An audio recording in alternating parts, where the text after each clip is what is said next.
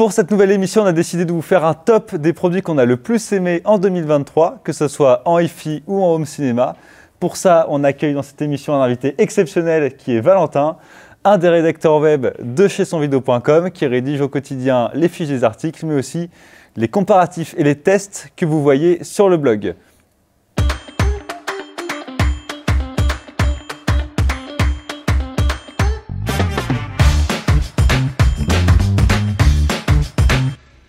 Valentin, tu vas nous présenter le premier produit de ta sélection et c'est le petit lecteur réseau qu'on a là. Oui, c'est le Eversolo DMP6. C'est vraiment une solution tout en un qui permet d'accéder aux services de streaming et de lire toutes les musiques dématérialisées sur le réseau. Il présente l'avantage euh, d'avoir un grand écran tactile. Donc euh, on peut se passer de l'application mobile si on veut. On peut contrôler vraiment tous les services avec une solution entièrement autonome du bout des doigts. Ok, et donc ça, ça se connecte à un ampli classique. Par exemple, on a un ampli qui n'est pas connecté, on rajoute ce lecteur réseau pour pouvoir profiter. Euh. L'avantage, c'est qu'il permet vraiment de moderniser une chaîne IFI vintage qui n'a pas de connectivité Bluetooth ou réseau ou quoi que ce soit. On intègre ce petit paramètre, donc il ouvre les portes du streaming, mais aussi de la musique haute résolution. On peut monter en fréquence, gagner en qualité, sans avoir à changer son ampli actuel. En fait, on a la version classique DMPA6 qui offre toutes les mêmes fonctions, donc le streaming, la musique dématérialisée. Et cette édition Master Edition va un petit peu plus loin en changeant l'horloge et les tâches de conversion pour réduire un petit peu le jitter et offrir une scène sonore un petit peu plus grande. Et j'ai eu beaucoup de retours euh, de la part des clients comme quoi c'était très ergonomique. Est-ce que tu confirmes? Oui, c'est vraiment un best-seller de cette année. Euh, vraiment agréable à piloter depuis son écran tactile qui est aussi fluide qu'un iPhone dernière génération. On peut se rebaser sur l'application mobile qui offre exactement les mêmes fonctions euh, pour l'accès aux services de streaming, aux musiques euh, mm. et régler toutes les fonctionnalités de l'appareil. D'accord, donc euh, carrément on pourrait même se passer directement de l'iPhone, du téléphone. Ah oui, c'est vraiment, l'avantage de cet appareil entièrement autonome. Génial. pas d'obsolescence programmée. Si un jour l'application est plus mise à jour ou quoi que ce soit, on peut continuer à utiliser l'appareil. Ah, top. Super. Et toi, Florent, c'est quoi ton premier produit coup de cœur de l'année? Alors moi, ça a été les Rialto de Cabas qui sont aussi un produit, Ouais, qui sont aussi un, une enceinte connectée en fait avec un amplificateur euh, intégré. Donc c'est des toutes petites enceintes. Et pour l'histoire, moi quand je les avais écoutées pour la première fois, je savais pas qu'elles jouaient. Et je pensais que c'était les grosses colonnes qui étaient juste à côté. Parce qu'en fait elles ont un du grave mais vraiment euh, très profond et super net. En fait, du, ça, ça baffe pas du tout. C'est vraiment très agréable. C'est très bien tenu. Et par rapport à l'encombrement de l'enceinte, c'est incroyable. En fait, on, on croirait pas que c'est elle qui joue. Donc, c'est un système euh, de coaxial, le, tricoaxial de chez euh, de chez Cabas. Est-ce que tu peux rappeler vite fait ce que c'est que le coaxial? Alors, le coaxial, c'est en gros tous les haut-parleurs ont le même centre. Donc là, en fait, c'est des enceintes euh, qui sont en trois voies. Donc il y a un Twitter, un Medium, et juste derrière, vous avez le grave qui est, ici. Et du coup, comme tout est dans le même, euh, dans le même centre virtuel, en fait, l'oreille est complètement leurrée. Il n'y a pas l'impression d'avoir euh, un aigu, un médium, une basse. Et du coup, la perception sonore de la scène est vraiment hyper qualitative, hyper précise. Donc du coup, c'est un système qui permet d'avoir une image sonore ultra belle, ultra précise, des timbres pareils qui ressemblent vraiment à des timbres naturels qu'on peut avoir en orchestre. Donc c'est vraiment des super enceintes d'un point de vue du son. En plus, il est chaque euh, haut-parleur a son amplification, donc dédié. Comme ça, ça permet vraiment d'avoir un ampli dédié au HP, euh, suivant comment il fonctionne.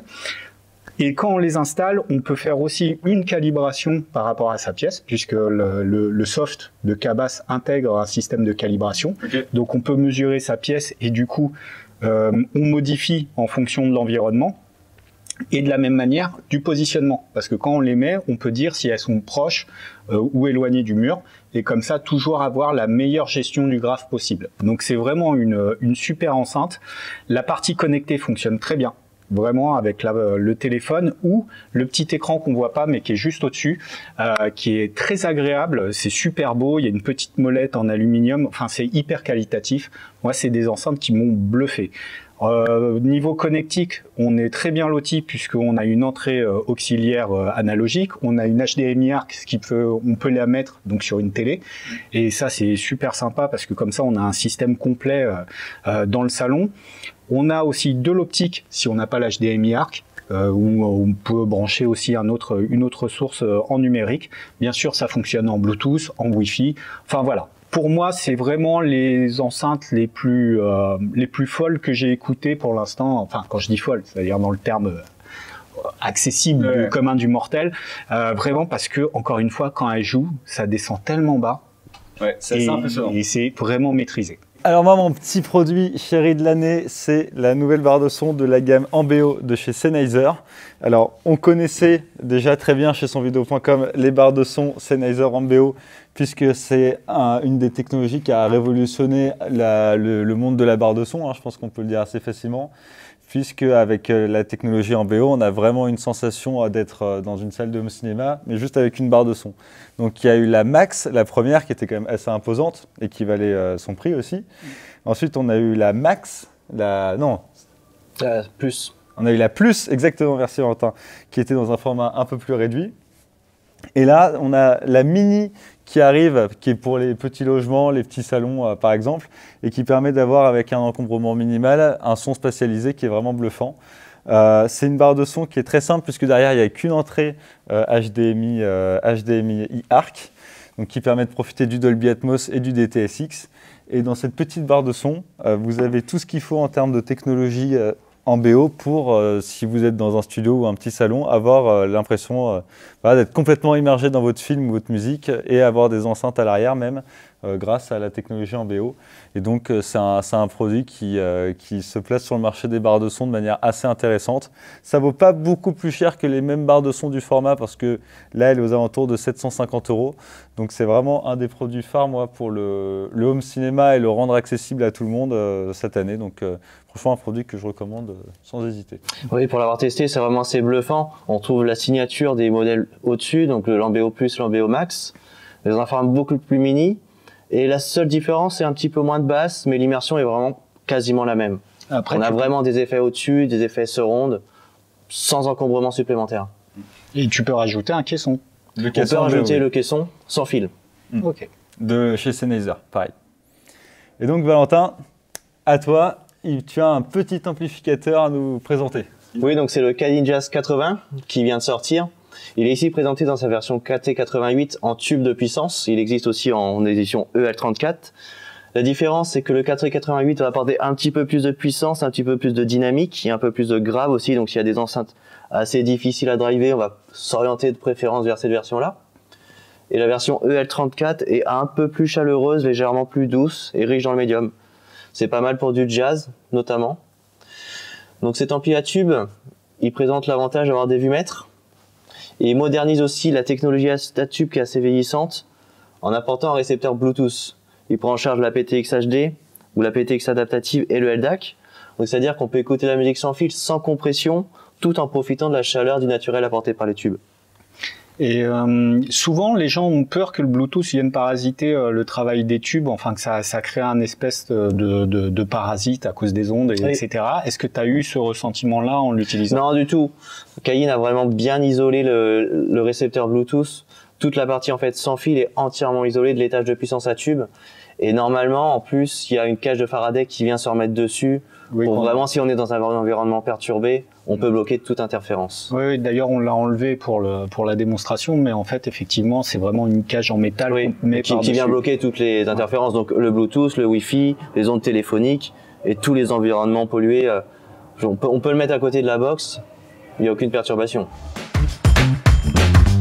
Toi Florent, tu as un chouchou, c'est ce petit ampli DAC de chez Earman. Ouais, c'est un donc un ampli DAC, euh, plus- plutôt transportable que nomade parce qu'il est assez grand quand même et un petit peu lourd. Mais par contre, au niveau du son, c'est une véritable tuerie. Euh, je l'utilise avec plein de casques. Donc au bureau, je prends tout ce qui traîne, hein, des focales, des Sandy Audio, euh, du euh, des Meze, Fostex et compagnie, il avale tout. Euh, les Campfire, pareil en intra-auriculaire, c'est vraiment super agréable à écouter avec. Et son gros point fort, c'est qu'il fonctionne avec des batteries. Donc la partie data et la partie batterie sont séparées. Ce qui fait qu'on n'est jamais perturbé quand on le branche sur un ordinateur portable, par exemple. On n'a jamais euh, ces espèces de courants de fuite qui viennent dans la partie amplification. Donc ça marche vraiment très bien, le son est toujours limpide. Et comme il a deux très grosses batteries dedans, il alimente vraiment euh, tout. Enfin, c'est, euh, il est très très puissant. Et Donc- tu peux le mettre du coup avec un téléphone aussi? Bien sûr. Et quand tu branches ton téléphone, ça n'use pas la batterie du téléphone? Non, tout C'est est, vraiment indépendant. tout est directement dessus. Et vraiment, pour le coup, euh, tu peux avoir un très gros euh, casque, un planard par exemple, et ben il l'alimentera sans problème pendant euh, plusieurs heures et enfin ça marche. Vraiment, ça marche. J'adore ce truc. Euh, à noter que vous avez euh, donc au niveau des sorties, on a une sortie euh, stéréo 3,5, une sortie 4x4 euh, en symétrique. On a à l'arrière effectivement donc le câble pour la data, le câble pour la charge, une entrée SPDIF coaxiale et Toslink. Et pareil, on a de la 4x4 en sortie pour du symétrique et du 3,5 pour de la stéréo asymétrique. Voilà, avec le réglage de volume, le petit voyant qui va bien, qui vous dit à, quel, à peu près à quel volume vous êtes, puisque quand c'est bleu, c'est pas fort, quand c'est rouge, ça fait mal aux oreilles. Voilà. Donc euh, le Earman Angel, Ok, et ça vaut combien cette petite bête? 699. 6 Ok. Ok. C'est un appareil qui est très mode. Donc même si c'est un peu gros pour une utilisation vraiment nomade en dehors de la maison, c'est très pratique pour l'écouter dans la chambre, le soir au casque, dans le bureau, au télétravail, ou pour l'emporter sur la terrasse, dans le jardin.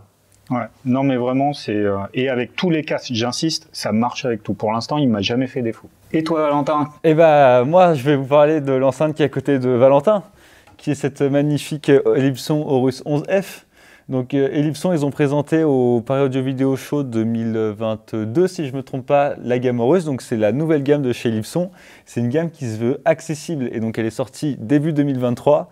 Et c'est une gamme de- d'enceintes que j'aime bien parce que elles permettent d'avoir bah, tout le savoir-faire Ellipson à un prix assez contenu. Parce que les deux colonnes, elles valent, euh, elles valent euh, 850 euros, si je ne me trompe pas. Oui, c'est bien ça. C'est bien ça. Et euh, en plus de ça, elles ont un super son très aéré. Donc euh, en utilisation hi-fi, c'est top. Avec ça, on peut euh, y ajouter un petit caisson de basse aussi euh, qui a un tarif contenu puisqu'il vaut 500 euros, mais tout en profitant bah, de la qualité de conception des produits Ellipson.